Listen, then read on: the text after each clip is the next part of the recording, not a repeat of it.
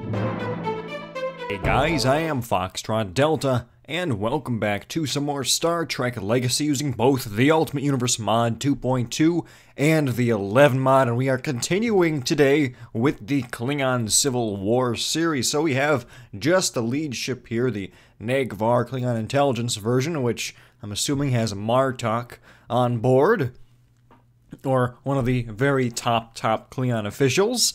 And we have an escort fleet controlled by the computer. Uh, the escort fleet consists of, let's see, three K't'inga class battle cruisers and four Vorcha attack cruisers, as well as some assistance from the Federation. We have two Galaxy class starships and an Excelsior class helping us out. However, we are going up against a much larger force than ourselves, well, by a few ships at least. We have two regular Klingon Negvars, 10 Vorcha attack cruisers, and two Romulan D'deridex warbirds because the Romulans want to cause an upset in the Klingon Empire. So of course they have their hands in this. And let's let's hit engage and see what occurs. Will the loyal Klingon soldiers claim victory over these rebel dissidents? Well, who knows? Well, I guess you guys will by the end of the video. Now we are at the Kronos map. Enemy vessels. Uh, the Federation vessels are actually in that nebula off to our left side. They're warping over to us somewhat slowly, and the enemy is up here. Now, this fleet back here is a little bit confused. They're actually splitting up, which could be advantageous uh, for us.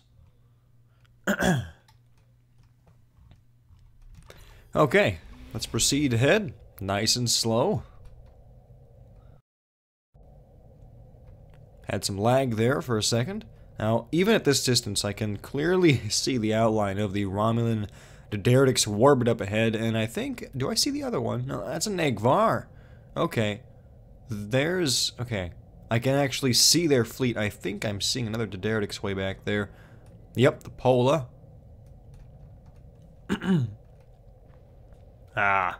The Federation reinforcements have joined up with the Klingon fleet. Now, it might be a good idea to actually cloak, put power to the engines, and Diverting close on them Captain. quickly. Have them shoot at the at the fleet behind me, and then I will decloak behind them and destroy them, hopefully.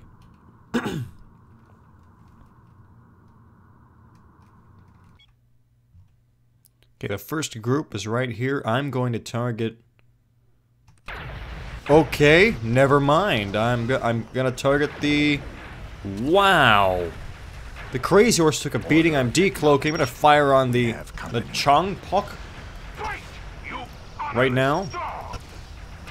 Oh, I, I am mildly transparent. Okay. I guess we're shooting at the D'deridex. We're about to lose the crazy horse. That's not okay.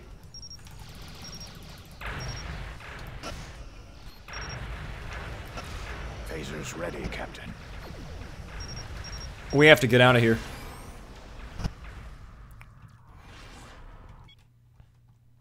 Is the fleet moving? Well, the fleet moved. The crazy horse will not move any longer. We've lost the crazy horse. A lot of honorable Federation officers died today. Hopefully their deaths will not be in vain. Let's target the Kupso.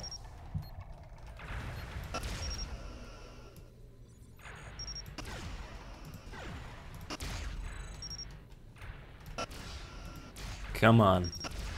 I know I have the really good torpedoes on this vessel, so once their shields go down, Shields down. there we go, take that.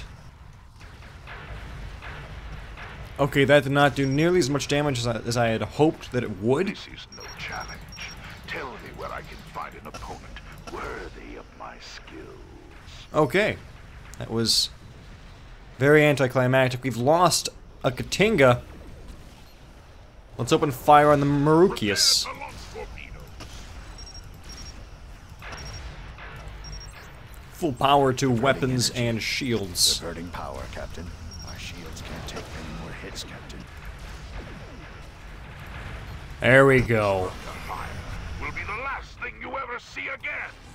Romulan target destroyed. Please don't warp through the explosion and and die. Okay, uh, two of my ships did exactly that. That that could have been my fault for doing for uh orienting the fleet that way. Whoops. Do we have any Target shields down. K't'ingas left? No, no, we do not. We are missing many ships. However, there could be a chain reaction happen. No, no, there's no chain reaction happening. You ever see again. Well, all of the older Klingon vessels have been destroyed. The Dauntless is about to lose uh, containment. We just lost the Dauntless. Let's warp. any more hits, Captain. Phasers locked on target, Captain. Oh no. Shields are low, Captain. Oh no. We lost the other Galaxy class. It's gone. What's the most heavily damaged? Okay, let's target that one. Diverting power, Captain. This is one of the most crippled Klingon vessels here. Is that one missing its its nose? No, it just looks like that. No? Wait. Yes, it is missing its its head, if you will. That is very weird. There we go, vessel destroyed, target neutralized. Phaser range, Captain. We still have a Romulan warbird on our tail. Where's the rest of our fleet? They are close by. And not doing too well.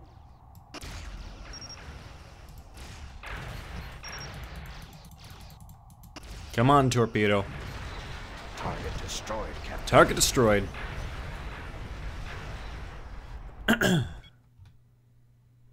Okay, we have some vessels that are much farther out. I think this one is disabled. Course laid in. I will adjust. Fools! You are clearly outmatched. Come on.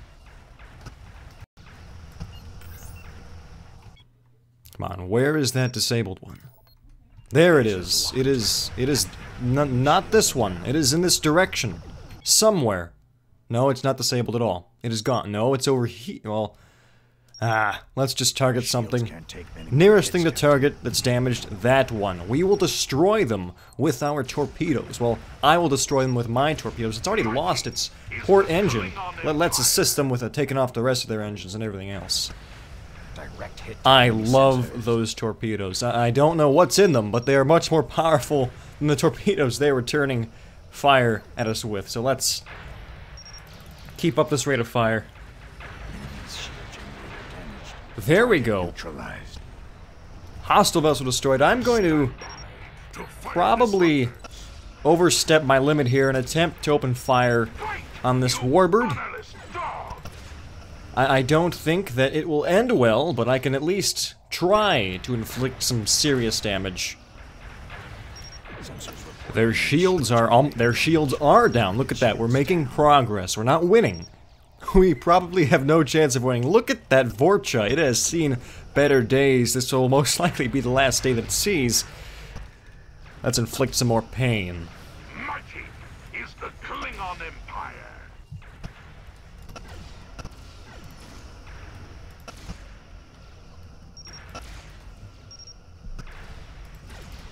There we go.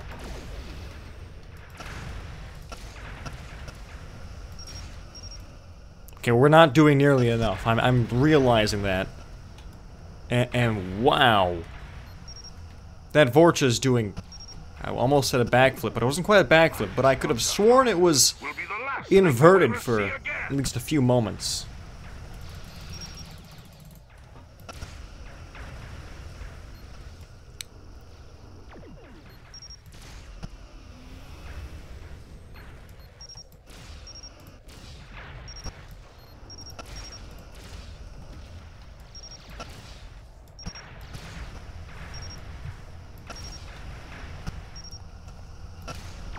Mighty is the Klingon Empire.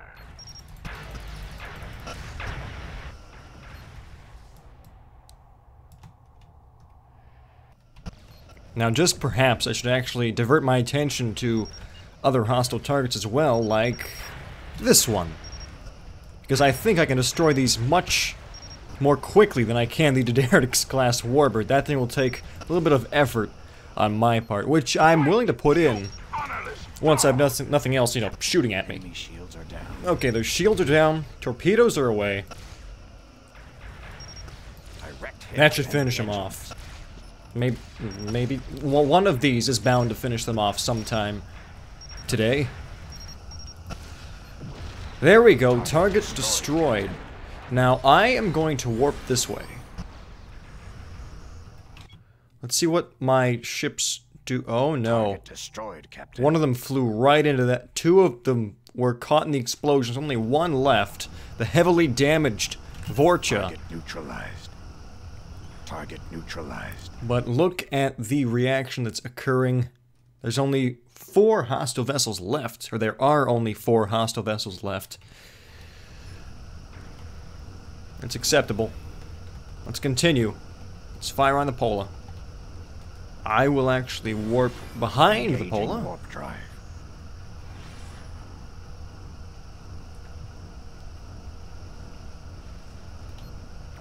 In phaser range, Captain. There we go. Targeting. Our torpedo tubes are fully reloaded in the front. Let's hope they'll be effective. And now the rear ones. That was quite some damage we did there. Nice solid impacts from those torpedoes. There go the rear ones. We're gaining on it. Where's our Vorcha? currently being blown up. It's uh, it's not good. I think a Negvar. Yeah, I think one of the one of the Negvars got him. Can I win this? I think so. And it's weird. All of these battles, it's come down to just this ship. Now, that's partially because uh, I'm controlling it, and of course the player ships are always more powerful than the AI ships, it seems. Um, Tell me where I can find But also, it's just a really good vessel. It's a very durable design. Lots of firepower. I I am very pleased with the way this ship uh, performs. Now, this is the Klingon intelligence version of the Negvar. It's the equivalent to the, the, the Section 31 ships that the Federation has. Except this really is an improvement over the regular Negvar. At least as far as the torpedoes go, and probably as far as the hull strength goes, too. Let's put full power to the shields, trying to get those back up. There we go. Their shields. Their shields are down. Now, if I fire the torpedoes.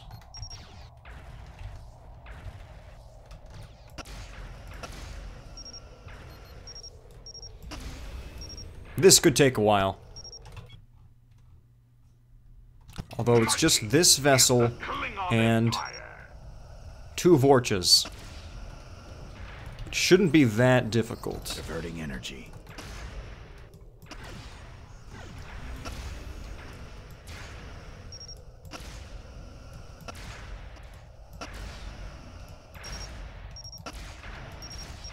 Come on.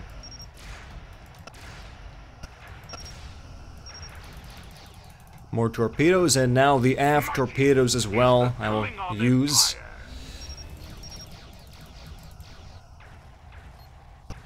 Nice connections with all of those. We have one disabled Vorch over there. And one circling us, actually doing damage to us. Let's raise the, the shields again, at least put more power into the emitters, so they will stay up for longer.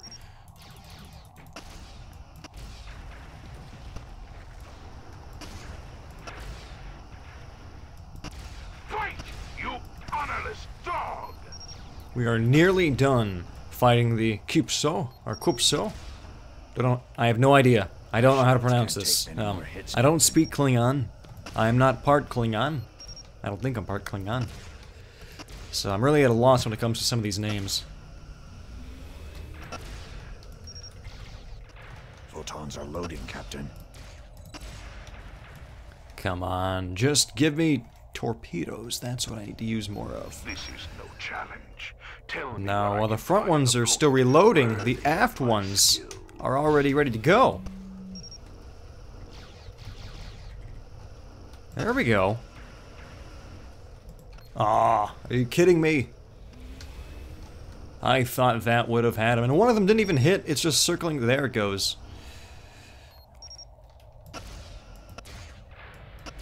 Really shouldn't take much more. There we are. Target destroyed. Nearest enemy vessel is this Vorcha. They will not be there for long. That I guarantee. Will be the last thing you ever see again. Their shields are down. Torpedoes are away. Direct hit to enemy weapon systems. Solid hit there with the torpedoes.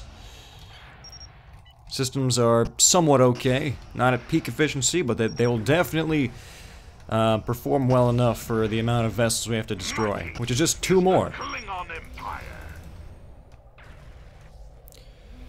Its turn. Aft launchers, prepare to fire.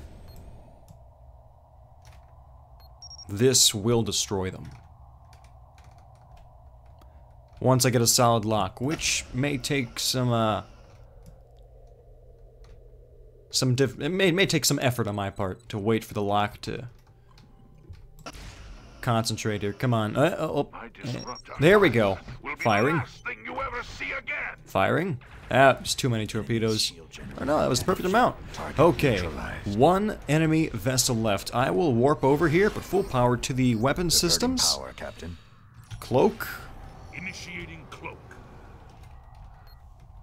Phasers ready, Captain.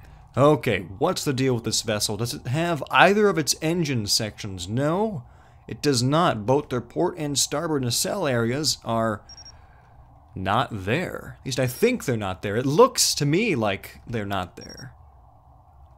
However, they still do have the, uh, it still has the front section. It's not decapitated like the other one we saw earlier. Uh, I think the best way to approach this would be from, uh, well, directly from above, where the weapons most likely cannot reach us. I don't think they can. I don't think the arc goes up that high. So full power to the weapon systems. We have a mostly solid lock with all of our weapons.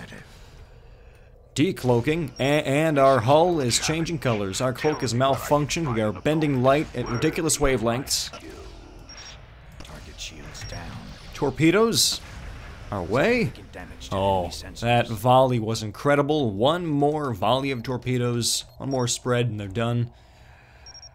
The Klingon Empire, the legitimate Klingon Empire, is victorious. And let's see. Okay, our hull is back to normal. Alright, that was a win. Well, guys, that battle took just under 17 minutes. We lost, well, we didn't lose our command ship, but we lost the rest of our fleet, and we destroyed all the hostile vessels.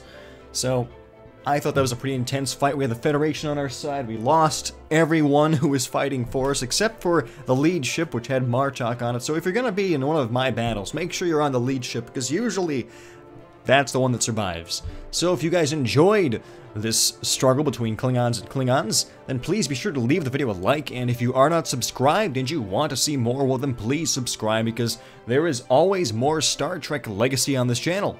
If for whatever reason you guys did not enjoy the video, however, I do apologize for that, and I ask that you leave a comment in the comment section and let me know how I can better improve the quality of the next videos that I produce so that hopefully you guys will find some entertainment when watching my future videos.